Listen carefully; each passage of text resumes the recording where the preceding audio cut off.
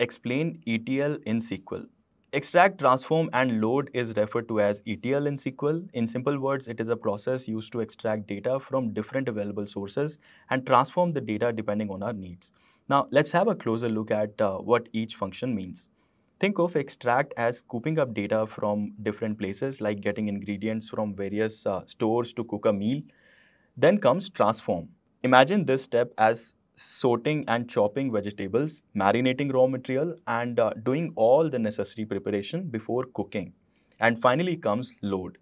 Think of it as uh, serving the prepared meal onto plates so that people can enjoy it. Clear, guys? Now, ETL could uh, involve several processes. The processes are filtering, sorting, joining, aggregating, cleaning, analyzing data, etc. And uh, finally, loading the data is the final destination location. Cool. Let's move on to the next question.